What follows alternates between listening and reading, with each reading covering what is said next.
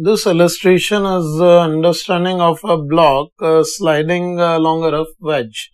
Here we are given that in figure all surfaces are smooth except the vertical face of the wedge where friction coefficient is mu. Here uh, we are given that all strings and pulleys are ideal and we are required to find the acceleration of block B when system is released. We are also given that mass of block A is twice that of block B.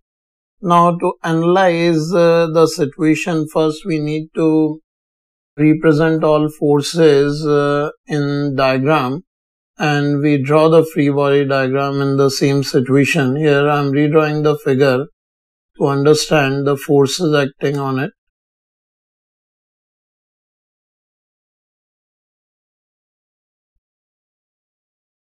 Here you can see this block A, this block B. One normal reaction is acting at ground and one another normal reaction is acting between uh, block A and B that is N2 and uh, everywhere in a string tension can be taken as T as it is uh, given as ideal.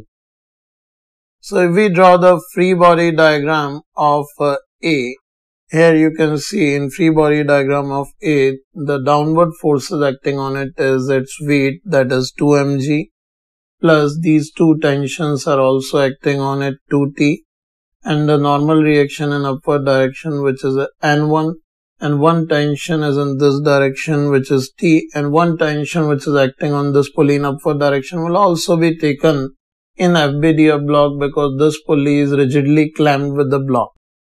Now as the block is having a tendency to move toward right, block B will come down and B will experience a friction in upward direction and uh, due to which the block A will experience the friction in downward direction which will be mu N2 and the normal reaction N2 will be acting on this block in this direction.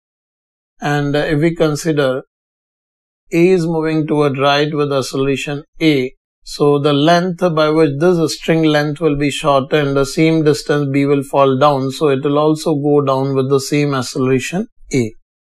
So here if we draw the free body diagram of B, in A I can draw the acceleration direction which is toward right. For B, its weight mg is acting in downward direction. Toward right it is experiencing the normal reaction N2 and in upward direction the forces are one is tension and other is friction that is mu N2. It is going down with acceleration A as well as along with block A B is going toward right with the same acceleration A. Now in this situation if we write the equation of motion for these blocks, here you can write for block A we can write T minus N2 is equals to 2ME that is here equation 1. For uh, vertical direction we don't need to write uh, the equation for A because uh, there is no friction on ground, ground is smooth here.